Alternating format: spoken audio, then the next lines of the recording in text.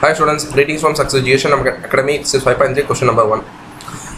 So identify the type of conic section for each of the questions. First question is 2x square minus y square equal to 7.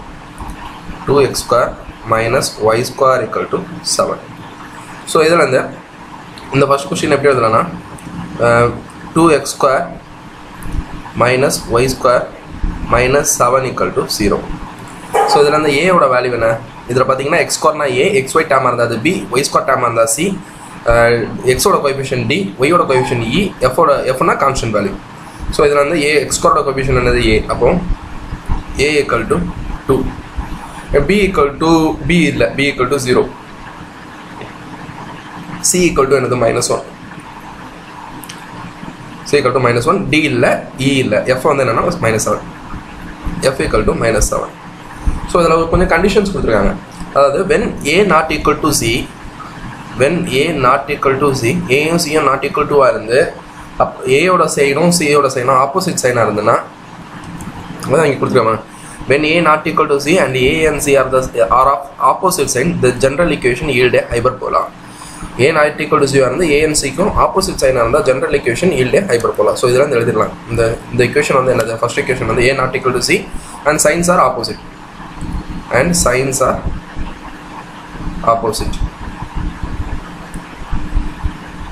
So இது என்னது? Hyperbola first equation hyperbola so second subdivision பாருங்கள் எக்ஸ்கோரோட coefficient என்னது? A a equal to three b இல்லை. எக்ஸ்வரி dam இல்லை. அதனால் B equal to ஜீரோன்னு எழுதுறேன். ஸோ சி சி வந்து என்னது? Y square c equal to three அதாவது a equal to b equal to சியாக இருந்ததுன்னா அதாவது a equal to b equal to ஒரே வேல்யூவாக இருந்து எக்ஸ்ஒய் டேம் அதாவது பி இல்லாமல் இருந்தால் தென் இந்த சர்க் இது ரெப்ரசன்ட் எதை ரெப்ரசென்ட் பண்ணுதுன்னா circle it represents a circle so second equation என்னன்னா சர்க்கிள் அதாவது கண்டிஷன் பார்த்துக்கணும் a equal to b equal to three ஏயும் பியும் ஒரே வேல்யூவாக இருக்கணும். இன்னொன்று வந்து எக்ஸ்ஒய் டேமே இல்லாமல் இருக்கணும். சாரி ஏயும் சியும் ஏயும் சியும் ஒரே வேல்யூவாக இருக்கணும். பி வந்து இல்லாமல் இருக்கணும். சரிங்களா? A equal to c equal to three அதாவது எக்ஸ்கோ டேமும் ஒய் எக்ஸ்கோரோட கோஎபிஷனும் ஒய் ஸ்கோரோட கோஎபிஷனும் சேமாக இருக்கும் எக்ஸ் ஒய் டேம் இல்லாமல் இருக்கணும். அந்த மாதிரி இருந்தால் இதை எதை ரெப்ரசென்ட் பண்ணுதுன்னா சர்க்கிளை ரெப்ரசென்ட் பண்ணுது. Then third question third subdivision பாருங்கள் a equal to three x y term இல்லை. அதனால் பி ஈக்கல் டு ஜீரோன்னு எடுத்துக்கோங்க. சி வந்து என்னென்னா சி ஈக்கல் டு டூ இப்போ பார்த்தீங்கன்னா இந்த டேம் மொத்தத்தில் நம்ம எழுதும்போது எப்படி இருக்கும்னா three x square plus two y square minus fourteen equal to ஜீரோன்னு எழுதிப்போம்.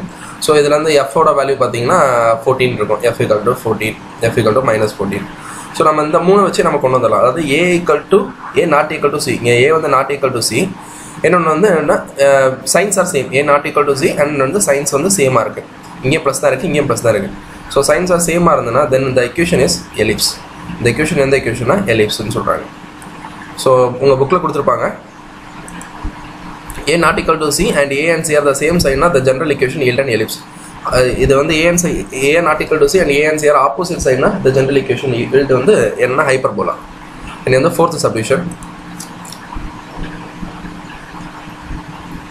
x square plus y square plus x minus y equal to zero so இங்கே வந்து என்னது? ஏ ஈக்குவல் டு ஒன்று b equal to zero x y term இல்லை C equal to ஒன்று D equal to ஒன்று e equal to minus one இந்த மாதிரி போயிட்டு நம்ம இதுலேருந்து நம்ம கன்க்ளூட் கன்க்ளூஷன் வந்துடலாம். ஏபிசி பார்க்கும்போது. ஏன்னா இங்கே வந்து a equal to c a equal to c and வந்து நோ எக்ஸ் ஒய் டேம் எந்த எக்ஸ் ஒய் டேமே இல்லை. ஏ ஈக்குவல் டு சியாக இருக்குது அது there is no x y term there is there is no x y term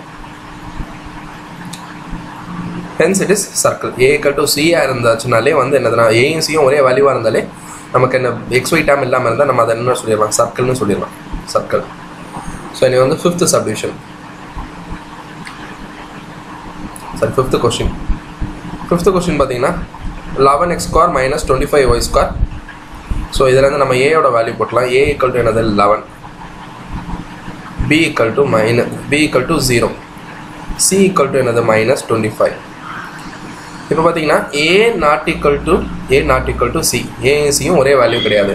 இதில் இன்னொரு condition என்ன எழுதலாம் அப்படின்னா வந்து a not equal to c as well as signs are opposite signs are opposite so signs are ஆப்போசிட்டாக இருக்கும்போது நமக்கு அது என்ன இக்குவேஷன் இந்த ஜென்ரல் இக்குவேஷன் ஈல்டு என்னது? ஹைப்பர் போலா சயின்ஸ் சேமாக இருந்ததுன்னா மேபி அது வந்து என்ன என்ன எலிப்ஸ்னு எழுதிக்கலாம். இது சயின்ஸ் சேம் ஆப்போசிட்டாக இருக்கும்போது இது வந்து என்னது? ஹைப்பர் போலா இல்லை last sixth subdivision y square plus four x plus three y plus four equal to zero so இங்கே பார்த்தீங்கன்னா ஏ டேம் இல்லை எக்ஸ் ஒய் டேம் இல்லை. A equal to zero comma b equal to zero c equal to ஒன்று d equal to four e equal to three f equal to ஃபோர்னு வரும். So இது பார்த்தீங்கன்னா இது எதை ரெப்ரசென்ட் பண்ணுது அப்படின்னா வந்து அதாவது நமக்கு ஏ ஈக்குவல் டு ஜீரோ அதாவது பி ஈக்குவல் டு ஜீரோவாக இருக்கணும் கண்டிப்பாக அண்ட் ஐதர் ஏஆர் சி ஜீரோவாக இருந்தால் அந்த ஜென்ரல் இக்குவேஷன் ஈல்டே பேரோபோலா இங்கே வந்து நமக்கு பார்த்தீங்கன்னா என்னது?